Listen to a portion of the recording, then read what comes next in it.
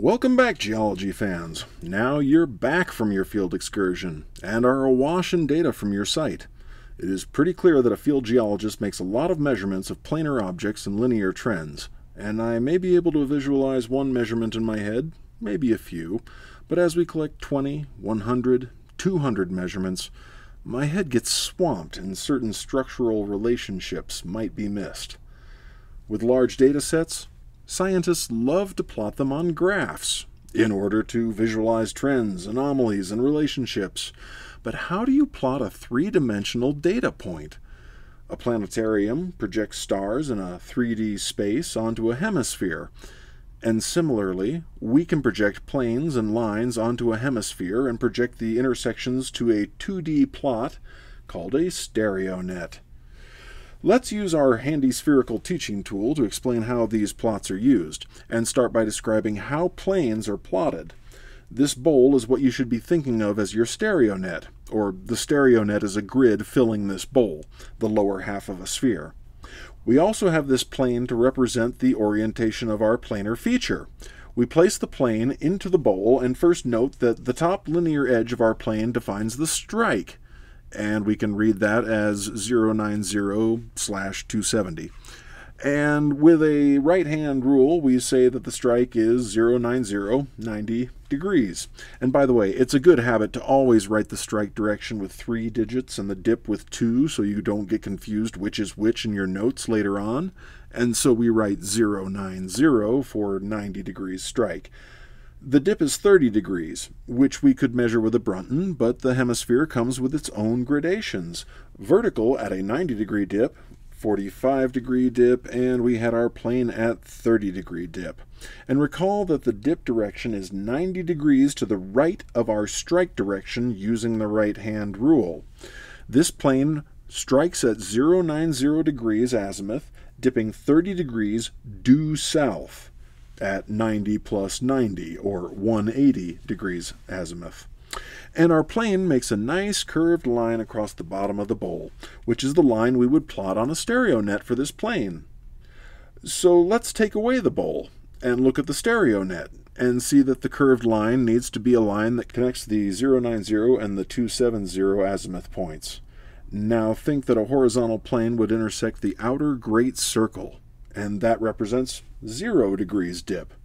We count in from the edge 30 degrees, and this arc line represents on a stereo net a plane at 09030. To do this the old-fashioned way, you place your stereo net grid below a piece of vellum paper, or tracing paper. Vellum is just more durable. Put a pin through the center of your grid from below and up through your transparency paper, Uh, perhaps place a small eraser over the pin to avoid injury, and mark your cardinal points on the edges of the grid on the transparency. Then to plot a strike and dip, you note the strike number and find that on the edge of your grid. In our case, we mark the 090 degree point with a tick mark. Rotate the transparency so your strike is lined up with north. So in our case, we rotate 90 degrees counterclockwise to get the tick mark lined up with north. The line intersecting our sphere will have to go to the right of center thanks to the right hand rule, and so we need to count in from the outer edge 30 degrees. So 0, 10, 20, 30. The arcuate line running up and down the page and going through this point is the line made by a 090 degree striking and a 30 degree dipping plane. Rotate your paper back to its original position so all the cardinal points are lined up again and you are seeing the plot of a plane at 09030. Or if you will recall, you can go into a program like FieldMove Clino or StereoNet, and all the planes you measure or enter will be automatically plotted on a StereoNet for you. Let's try another arbitrary strike and dip and practice plotting it on a StereoNet, a blank of which I have posted on the iTunes Notes page for you to copy and print off. So let's take a measurement of 01242.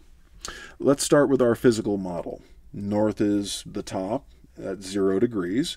So we count one major grid division clockwise to get to 10. And since each small division is 2 degrees, we will go one small division clockwise to get to 12 degrees strike.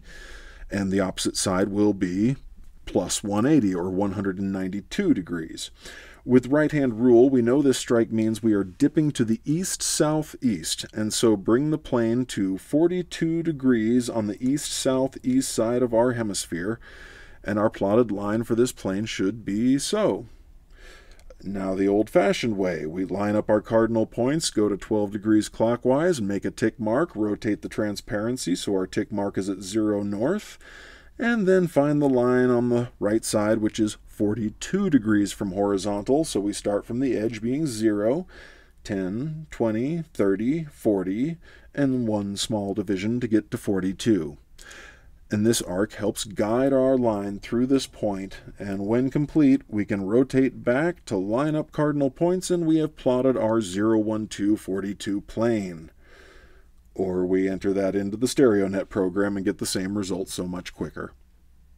I mentioned that if your plane is horizontal, then the outer circle is the projection of the plane. 90 degrees dip will make a straight line across the middle of the StereoNet but the orientation will be determined by the strike. So lower dips will be plotted closer to the edge of the StereoNet and will be more curved, and steeper dip angles will be more towards the center and straighter.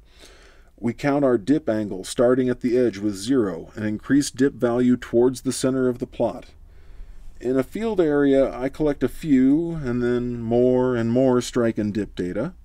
As I plot all these on my StereoNet, I might find them all to be about the same or, or see some shifts between the various formations.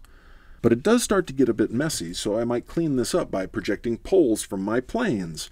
Imagine now a line perpendicular to our plane, intersecting the central point of the strike line in our model. It hits the hemisphere at a distinct point instead of a line and we can plot the poles of planes to clean up our graph. Projecting the pole down puts a point on the opposite side of the StereoNet as the plane projection line, and it is 90 degrees off from the strike line. Now as I plot many planar data, they more clearly lie as points on my StereoNet, and it might even be easier to see patterns. Points will also appear when we plot any other linear data with dip and dip direction or trend and plunge. I may measure some glacial striations, lines, and, and bedding surfaces that they are on, planes, and the fault that cuts through this layer, plane, and the slickensides that that fault movement produces, lines. And if patterns are present, they begin to emerge more obviously on the StereoNet. Let's try some common structural forms. Uniformly horizontal, undeformed beds are boring. All bedding planes will just plot as the outer circle of the StereoNet. So let's try tilting all the layers 45 degrees and have them strike at 280. It would be remarkable if every measurement we made was exactly on this average strike and dip, and so multiple measurements will plot like so in planar plots, and as so as poles where we can more easily see the average value coming through of 280.45.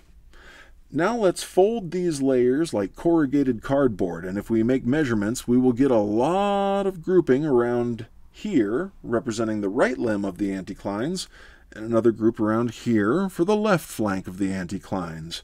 But the spread in between comes out along the fold axes. With this scenario of folds that are otherwise horizontal, we see that the line of points connecting the flank groups is through the center. But let's try tilting those same layers to be plunging synclines and anticlines. We get the flank groups again, but connecting points starts making arcs off of center.